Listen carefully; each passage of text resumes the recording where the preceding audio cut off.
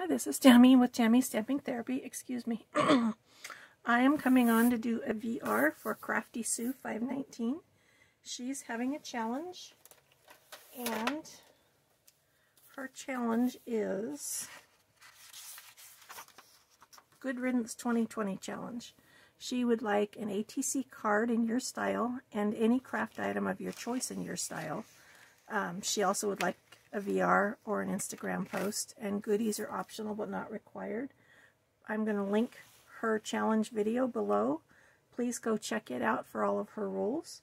I'm going to show you the ATC card that I made for her, but not the rest. So this is the ATC card. It's butterflies and it's got green in it. I also like butterflies. I know she said to do it in your own style, but this one's for you, Sue. So this is my ATC card. This Oh Happy Day is from the Mini Messages stamp set. It's actually just a stamp. Uh, this yellow ribbon, I don't know where it came from. I think it was it was tied tying something together and something I got in my challenge last year. I'm not sure. Um, I can't tell you where this butterfly die is from. I have no idea. Except it's a set of three nesting butterflies and then the body is a separate piece. And then this is what I did on the back. This is a different butterfly. I don't know where this one's from either. And then my information is in there. So that is my ATC card for Crafty Sue 519. Um,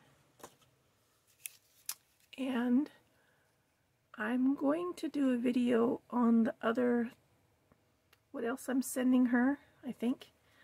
But it's going to be separate and it's going to be after she gets her package because I want it all to be a surprise. So this is the ATC card for Crafty Sue 519, who is Suzanne Nocco. Please go check out her channel. I'm going to link her challenge video down below, as I said. And thank you for watching and have a wonderful day.